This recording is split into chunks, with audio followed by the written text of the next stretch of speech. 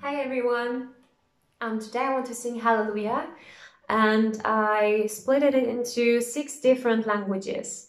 So this will just a little bit different than the original version and I want to show my and share my support and love to the whole world, especially right now in this serious situation that we have to deal all of us. And um, yeah, just as a reminder, I hope that you all know that this too will pass. And I really love this song because it encourages to believe in the good things in life.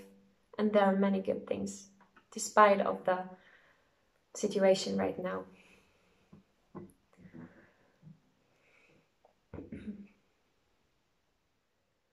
I've heard there was a secret chord that David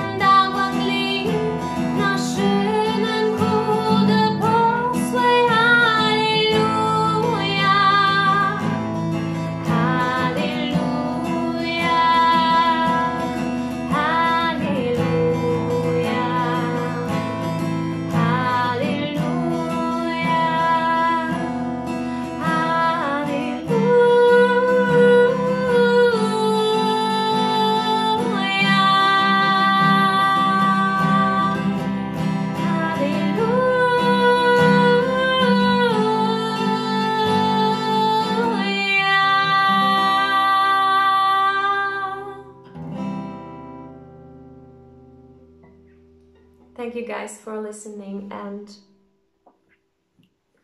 I hope that you all stay calm and safe and remember that everything will be okay in the end. Just believe in yourself, believe in the good things that will happen and think of what will happen when the whole situation will finally come to an end and you will be able to go out, to go for a coffee, to go to a restaurant. You will enjoy your life more than ever. Have a nice day.